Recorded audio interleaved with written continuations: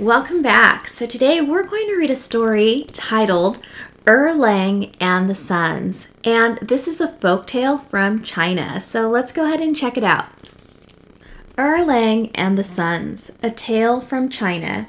A long time ago in China, there were seven bright suns. They were shining endlessly, so there was only day and no night.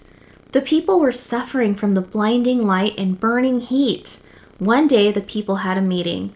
Let's go to Erlang, said one old man. He's the only one who can help us. Erlang was a man with great strength. He was so strong that he could move mountains and rivers. And he could jump so high that he could touch the sky.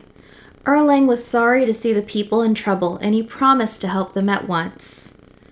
At first, Erlang spent a long time watching the suns. He found out that they came up one by one. Good, I'll get you one at a time. Erlang came to a huge mountain, lifted it up, and moved it to one side. There was now a deep hole in the ground. As soon as the first sun came out, Erlang jumped up into the sky and grabbed the burning hot sun with his strong arms. Boom! Down fell the sun into the deep hole. As quick as lightning, Erlang pushed the mountain over it, and that was the end of the first sun. Then Erlang waited for the other suns to come out.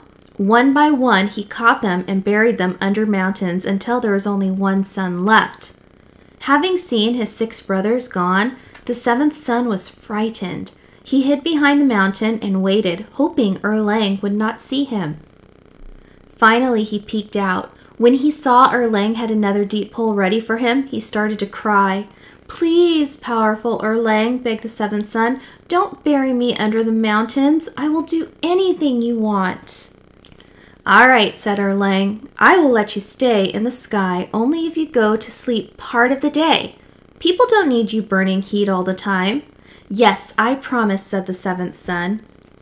Thanks to Erlang, people now can enjoy the coolness of night.